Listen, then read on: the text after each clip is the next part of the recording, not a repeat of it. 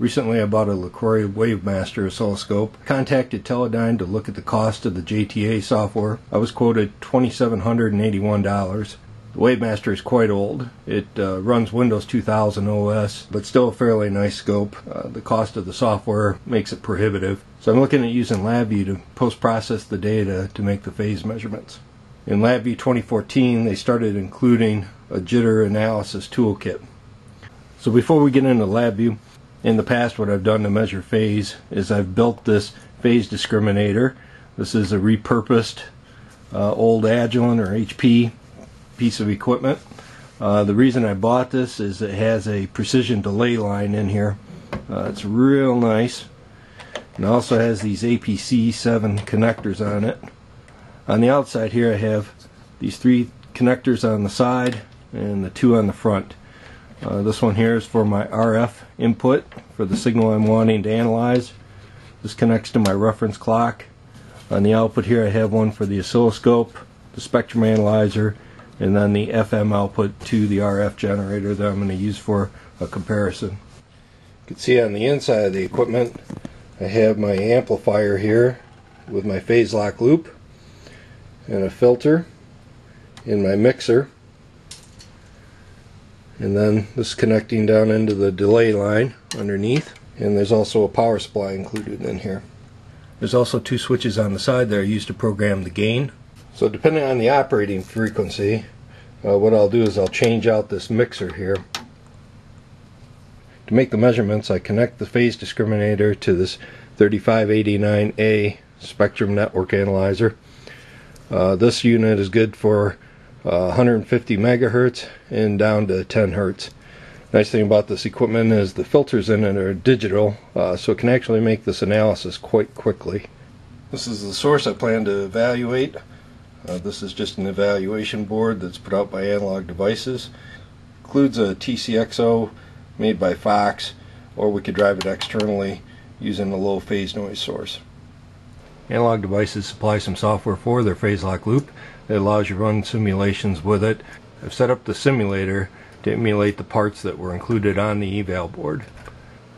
And here we can see the phase jitter using a brick wall filter from 10 kilohertz to 100 kilohertz is roughly uh, 2.14 picoseconds. This is the phase noise of the carrier frequency measured from 1 kilohertz up to 1 megahertz using the external discriminator that I showed you previously. This is the measurement I obtained from the simulator using a different configuration. As we can see here, the RMS jitter is 5.3 picosecond.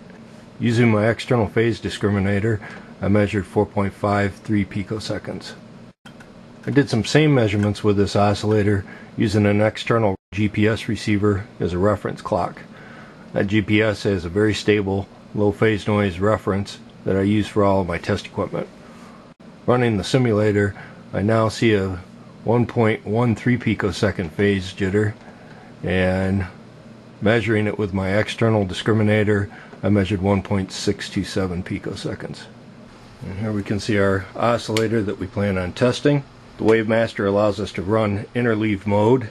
Uh, this allows us to achieve 20 gigasamples or a sample period of 50 picoseconds. These scopes are, uh, again, they're getting quite old.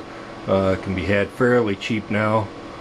This particular scope has Ethernet, which allows me to attach it to a PC and control the DSO from LabVIEW through the Ethernet, rather than using GPIB, which would be quite slow to make these measurements. This DSO runs Windows 2000, kind of dates it. Here we can see the output from the clock as I change the amplitude. Here we're outputting minus 3 dB. It's looking at 100 picosecond per division. In this case the clock is running at 1.7 gigahertz. Wavemaster includes a lot of math uh, the one thing it is missing is the jitter analysis. Again, that's an add-on toolkit. It does have some capability as far as measuring jitter from the base package, but not like the JTA analysis. This is the software I put together for the Wavemaster. This program basically brings together all their examples that are included in the toolkit from LabVIEW. I did find some problems with that library. Um, they do provide you most of the source code, so uh, making changes to this library for your own particular needs, not much of a problem. This is the live data coming from the DSO. If I zoom out, you can see I've collected 500 nanoseconds of data. At 20 gigasamples or 50 picosecond sample rate, that provides us with 10,000 samples. There's two ways to analyze this with LabVIEW. We can either do a mean clock calculation or an average clock calculation, or we can drive a phase lock loop. If I turn on the phase lock loop and we zoom in, the green trace is our phase lock loop, the purple is our raw data. You can see that the software phase lock loop is locked to our data. This phase lock loop then would be used to make the calculations for the jitter measurements. This is our eye pattern. Here you can see where I've set up a mask. The standard library allows a mask of four points. We can configure these points any way we want. We also have a maximum and a minimum trip point that we can have. So what I'm going to do, I'll take our PLL software and I'm going to decrease the amplitude of our waveform. Okay, and what we can see here is now we've actually fallen inside of the boundary and we failed 79 times out of 9,966 total samples. Fairly nice feature, not something that's included in the JTA software. Here we can see a spectrum analysis of the jitter. This is performing an FFT on the phase noise rather than on the amplitude of the signal.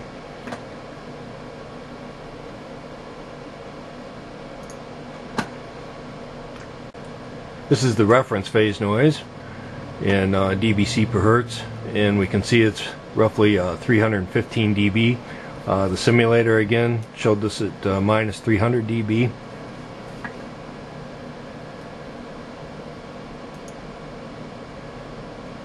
This is showing the histogram of our phase noise. These are the raw counts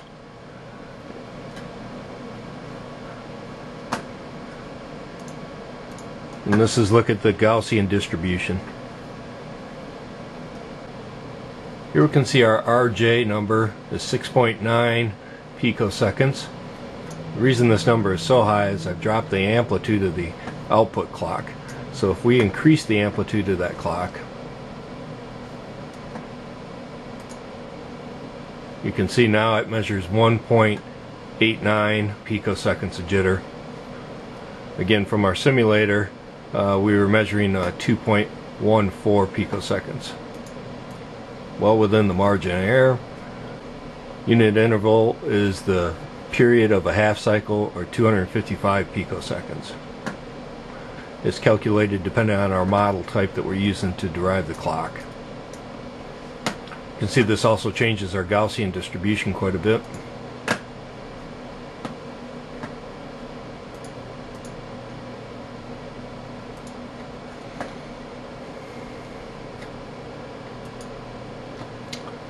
Phase noise is still about 320.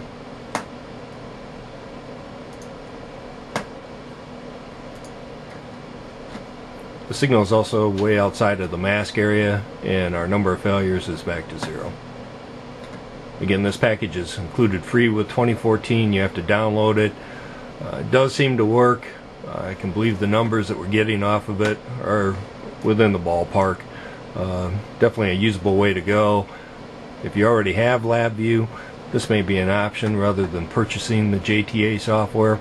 It actually has more features. With the JTA software costing close to $3,000, you're roughly looking at the cost of LabVIEW. So this is actually a fairly cost-effective way to make these types of measurements.